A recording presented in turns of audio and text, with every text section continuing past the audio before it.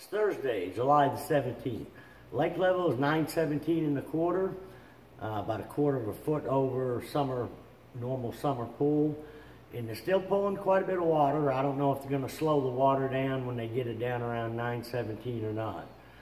But uh, water temperature, oh, you know, low 80s. Seems like it's 79, 80 in the morning. You'll find some that gets up into the mid 80s.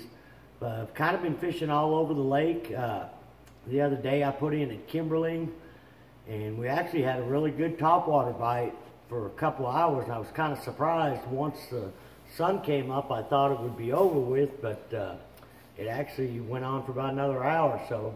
And those topwater fish, you know, I caught uh, in some deep creeks out in front of docks, you know, and it was probably 50 to 80 foot deep out in front of them docks. And what was surprising, a lot of times those are usually Kentuckies that are out there, pretty much all largemouth that we caught.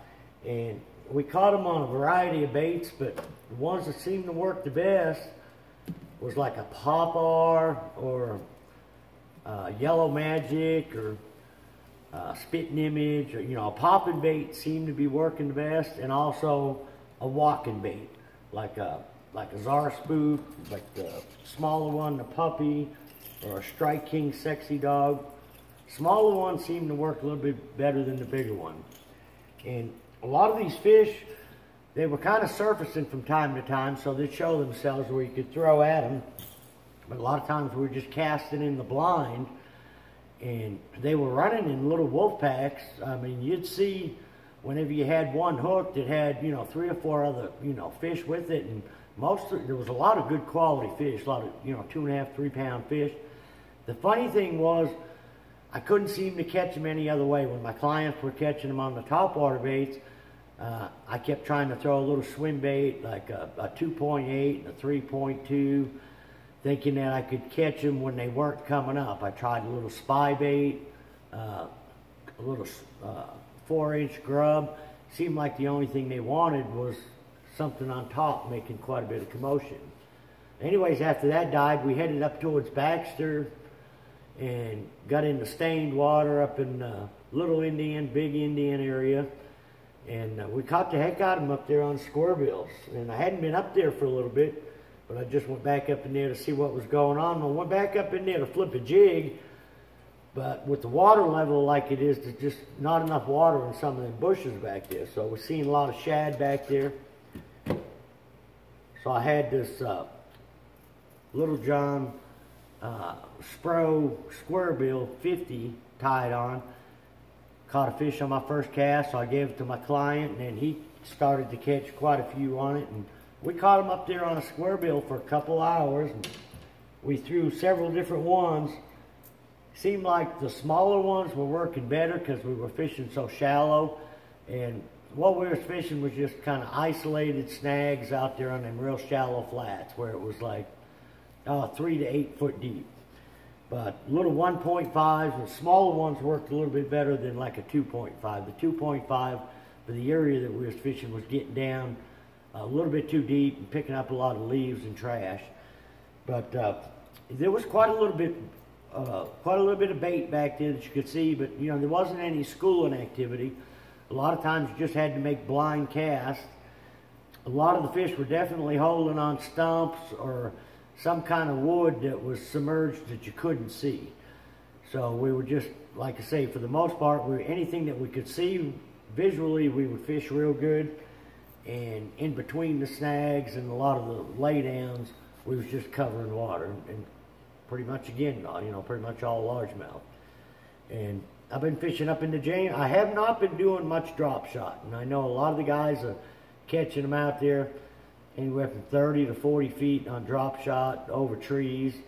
You know, I've done it a little bit through the slow periods of the day, but seems like if I stay in the stained water once that sun gets up, whether it's up in the upper White River or Long Creek or the Indian Creeks or the James, I can continue to get bit, you know, fairly shallow, shallow I mean 20 foot or less. And it seems like, you know, later in the morning and stuff when the sun gets up, uh, I'm having to catch them on the bottom. My deep crankbait bite's not as good as it was a few weeks ago. And a lot of the fish, when I was catching them on a deep crankbait, I was catching a lot of walleye too. But I think a lot of the fish are starting to go a little bit deeper out there on them humps and ledges.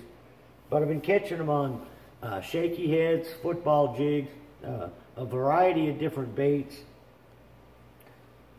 One of the ones that's kind of working the best still for me, and I'm getting a little harder to find them, but it's a it's a Zoom, either a Magnum trick worm or a Magnum finesse worm. Uh, green pumpkin, watermelon red, and I'm throwing it on a five fish lures, uh, ultimate shaky jig. This is a, it's got a six odd hook in it, and I throw it on bait caster, probably 17 pound line.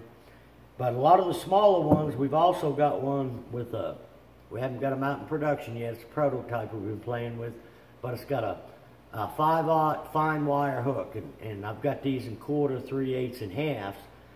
But I've been using a, this is a big bite. It's like a Senko type worm. Uh, also been throwing uh, some craws on them.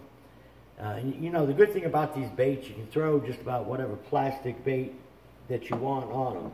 Uh, football jig's been working good. I've been kind of mixing it up with uh, a pig sticker makes a, a good little football jig.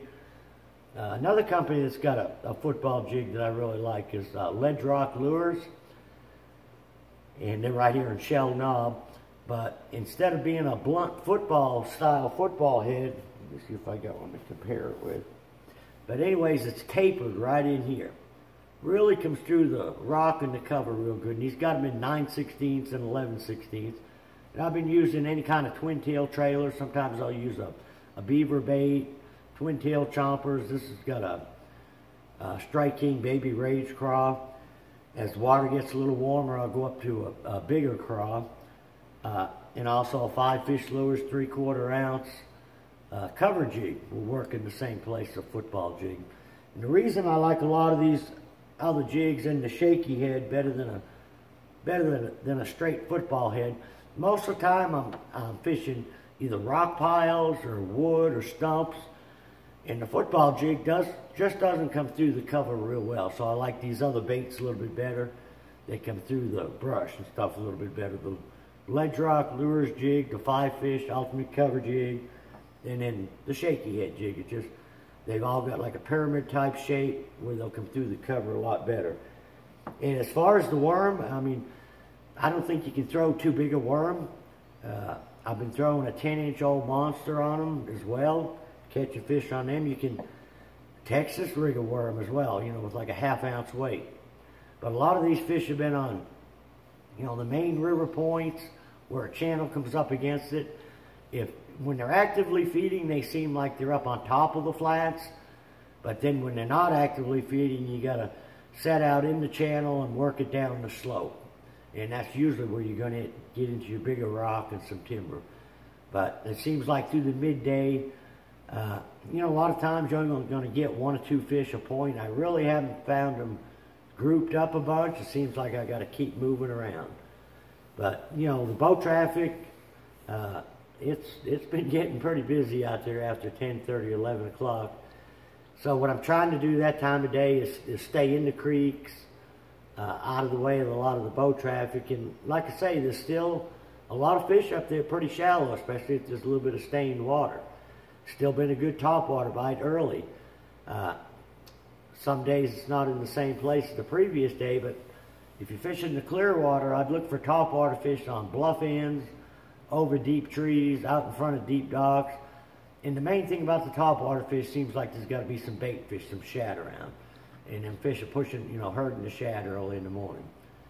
So, uh, till next week, uh, good luck, good fishing.